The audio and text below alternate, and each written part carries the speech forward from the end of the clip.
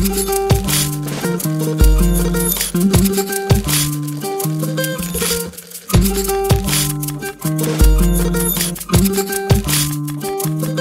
décidé d'accueillir un chien guide d'aveugle pour avoir l'impression de servir à quelque chose. Accueillir un chien guide d'aveugle au sein de mon foyer, donc sur Lyon, et au sein de mon entreprise. La vie quotidienne avec le chien, c'est presque la vie quotidienne que, que j'aurais avec un, enfant, et même plus, puisque euh, moi, il est au travail, il est à la maison, il est dans ma voiture, euh, il est partout. Je l'ai tout le temps avec moi. C'est quand je vais au cinéma, je l'emmène. Quand je vais faire mes courses, je l'emmène. Euh, je vais au restaurant, il est là. C'est nous qui sommes importants pour le chien, pour qu'ensuite le chien puisse rendre ce qu'on lui a donné à la personne en situation de handicap, parce que la tendance va s'inverser, c'est-à-dire que nous, tout ce qu'on lui a donné, il va falloir que lui le donne à la personne qui en a besoin. Côté social apporte de l'humilité, je pense, et pour tout le monde. Adhérer à une association, ça nous apprend à faire un, petit peu le point sur nous-mêmes et à essayer de rectifier les choses et euh, bah, à prendre du recul euh, par rapport à nous-mêmes en fait. J'aurais jamais euh, discuté euh, avec une personne en situation de handicap visuel avant, avant ça. Pour moi, Enfin, allez, c'est bon, il, est, il est 20h, je rentre à la maison, j'ai pas envie de discuter.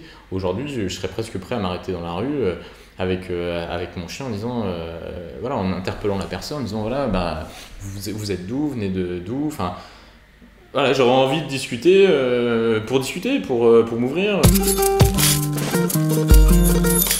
J'espère aujourd'hui pouvoir sortir de, de, ce, de ce, nombrilisme euh, qui fait euh, notre pays, qui fait euh, notre façon aussi de vivre et, depuis des, des, centaines d'années qui fait vivre le monde. J'essaye de, entre guillemets, me racheter, de racheter une conduite que j'ai pas forcément au jour le jour. Bah, je milite en disant je suis pas parfait, je pense que personne n'est parfait et que le fait d'adhérer à une communauté, d'adhérer à une association, d'essayer de faire avancer les choses, c'est pour un petit peu être euh, un petit peu être fier de soi, même si le but n'est pas d'être fier de soi, mais euh, euh, de flatter un petit peu son ego. J'y vais pour moi, quoi. Clairement, j'avais ma situation professionnelle, j'avais mon appartement, j'avais voilà ma petite vie bien rangée. je fais mon sport pour moi, je prends du temps pour moi je vais faire les courses pour moi, je vais au cinéma pour moi. Je pose même pas la question euh, aux autres, en fait, ça ne m'intéresse pas. Je préfère euh, y aller pour moi-même et les autres euh, sont pas importants en fait. C'est moi-même qui suis important. C'est cette peur de devenir cette personne complètement individuelle, rongée par son travail, rongée par sa vie et justement par l'occupation de cette petite personne et l'alimentation de cette petite personne qui m'a fait passer à l'acte. Et euh, j'avais peur de donc d'une part de m'ennuyer j'avais peur euh, de me retrouver seul parce que ben, des amis qui partent des, des, des, amis qui se perdent aussi. Donc le peur de la peur de se retrouver seul de plus avoir de contact ou de moins avoir de contact. Euh, la peur de se dire un jour je ne sers à rien et je ne servirai jamais à rien. C'est surtout pas ça que je pense aujourd'hui. Et ça m'a fait évoluer. Le fait d'être dans une association et d'avoir travaillé avec des personnes en situation de handicap ça m'a ouvert là-dessus L'accueil du chien dans, euh, bah dans les commerces, euh, dans les, structures, type euh, bon, tout ce qui est cabinet dentaire, donc ça c'est négatif, les hôpitaux c'est négatif, ça ça se comprend, ça je le conçois, mais interdit à Carrefour, je vois pas pourquoi, interdit au cinéma, je vois pas pourquoi. Euh, bon, l'a même, je vous dis, presque interdit dans un, dans un bus, alors que clairement, enfin, une personne en situation de handicap visuel, si elle prend pas le bus, je pense qu'elle se déplace pas. On a une carte qui stipule que, d'après un article, alors je connais pas exactement l'article, mais on a l'autorisation de, pouvoir avoir ce chien guide d'aveugle dans les transports en commun, dans les lieux publics, sans, sans muselière. Sauf qu'il n'y a pas de statut de chien guide d'aveugle pendant son apprentissage et après euh, sa réforme. C'est-à-dire que le chien guide d'aveugle a un statut légal du moment où il est en activité. Légalement, euh, si, euh, si Carrefour veut nous, nous refuser l'accès, il peut.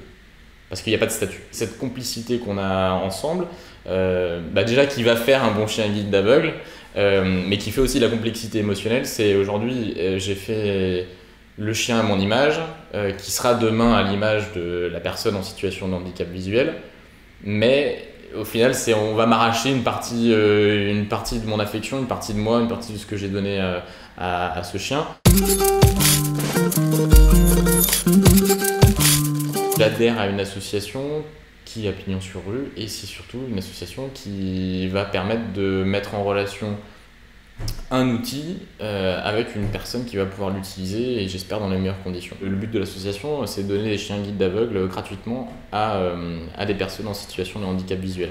Donc j'ai eu le choix d'avoir euh, ce, chien guide d'aveugle. J'ai passé plusieurs entretiens avec justement la personne qui est en charge du recrutement pour les familles d'accueil j'ai rencontré l'équipe technique et suite à tous ces entretiens, voilà, on, m'a fait un retour positif en me disant voilà, effectivement, tu as le profil euh, pour devenir famille d'accueil. La formation, euh, je dirais, du début de l'apprentissage qui est euh, l'apprentissage de la propreté, l'apprentissage de l'obéissance, jusqu'à l'apprentissage du guidage spécifique en milieu urbain, c'est 22 mois. Au jour où on l'a pris pour la première fois et, la première fois qu'on s'en occupait, c'est un chien entre guillemets qui, qui avait rien à donner. Voilà, il avait plutôt tout à, tout à apprendre. Il a, il a son, il a, je dirais, il a son professeur principal comme euh, on avait au collège. Euh, on va dire famille d'accueil, c'est son professeur principal. Il va, il va coordonner euh, un petit peu le, les déplacements, il va lui apprendre à être propre, il va le, le, rappeler à l'ordre si besoin. Et ensuite, il a les professeurs spécifiques que le professeur principal ben, il peut pas incarner, puisqu'il n'a pas toutes les compétences. Euh, et donc, euh, bah, il y a euh, l'éducateur technique, il y a la psychomotricienne qui va travailler avec le chien et avec la personne en situation de handicap. Vous avez le directeur technique qui va, lui, être en charge bah, de toute la coordination de l'équipe pédagogique et qui demain va aussi intervenir ah, avec la personne en situation de handicap pour choisir le chien adéquat. J'en ai parlé à mon employeur, mon employeur qui au départ était surpris de la demande mais pas du tout réticent. Euh, m'a dit bon, il bah, n'y a pas de souci, il euh, faut que j'en parle euh, à la direction générale. La direction générale a donné son accord fermé définitif, comme quoi c'était voilà, une bonne initiative. J'avais une collègue qui, qui avait dit au départ oh là là, moi, je, enfin, je vais pas dire que je veux pas en avoir un parce que ça, ça te pénaliserait pour l'avoir, parce que vraiment la question c'était, j'ai posé la question à tout le monde, s'il y en avait un qui était, était vraiment euh, qui avait une réponse négative, on prenait pas de chien. Cette personne a dit bon, on, le prend, mais bon, euh, voilà, moi je suis, suis pas pour, pas là, faut, pas qu'il vienne me, me, voir parce que voilà, on sera pas copains. Et au final, euh, c'est celle qui s'en occupe le plus. voilà. J'ai pu accueillir donc, euh, donc Opsy, qui est devenue un petit peu la mascotte du bureau, qui vient tous les jours au bureau et qui aujourd'hui voilà, est plutôt en phase de devenir un chien guide d'aveugle d'ici d'ici six mois. Voilà.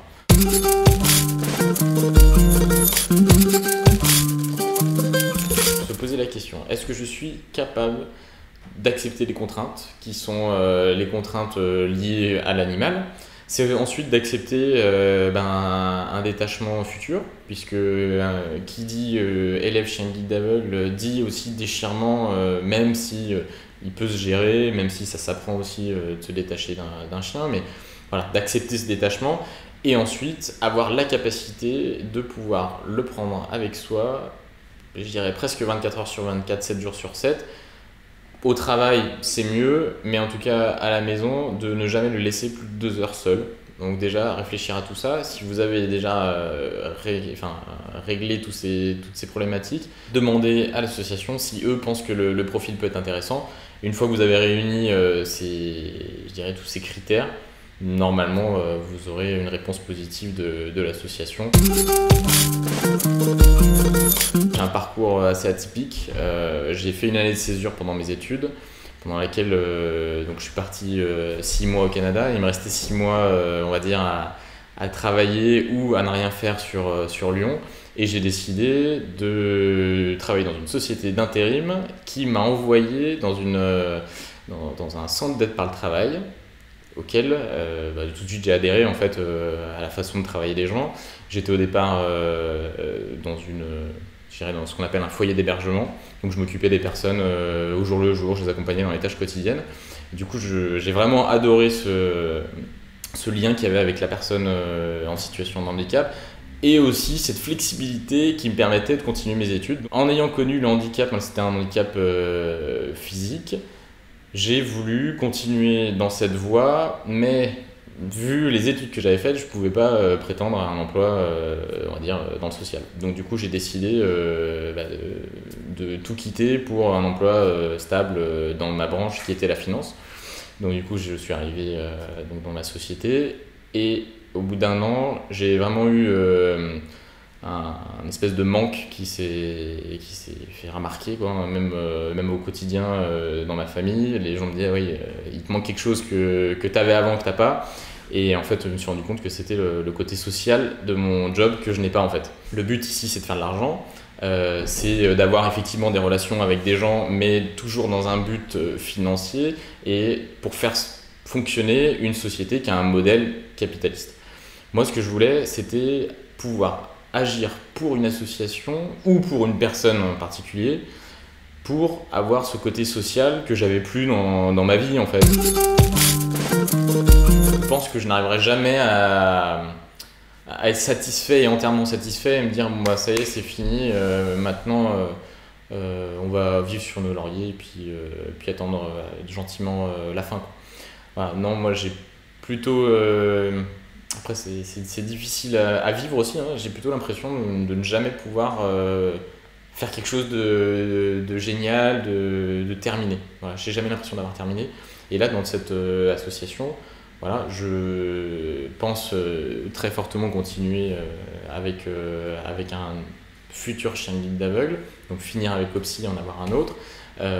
Éventuellement, si, si j'ai un peu de temps, pouvoir prétendre à, une place d'administrateur dans l'association, je pense que je n'aurai jamais l'impression de, finir, d'avoir fini mon action.